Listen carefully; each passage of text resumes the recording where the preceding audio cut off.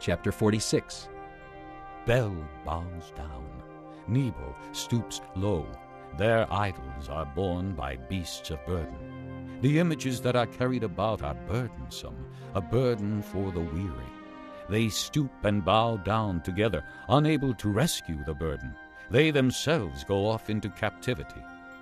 Listen to me, O house of Jacob, all you who remain of the house of Israel, you whom I have upheld since you were conceived, and have carried since your birth.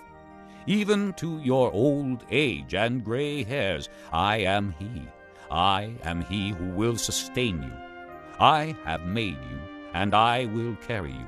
I will sustain you, and I will rescue you.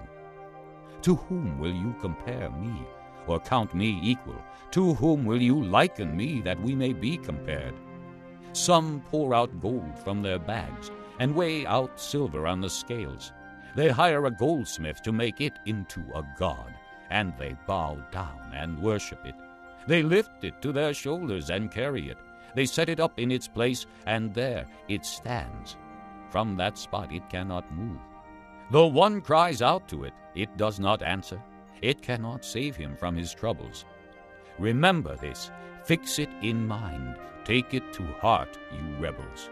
Remember the former things, those of long ago. I am God, and there is no other. I am God, and there is none like me. I make known the end from the beginning, from ancient times what is still to come. I say, My purpose will stand, and I will do all that I please. From the east I summon a bird of prey, from a far off land a man to fulfill my purpose. What I have said, that will I bring about. What I have planned, that will I do.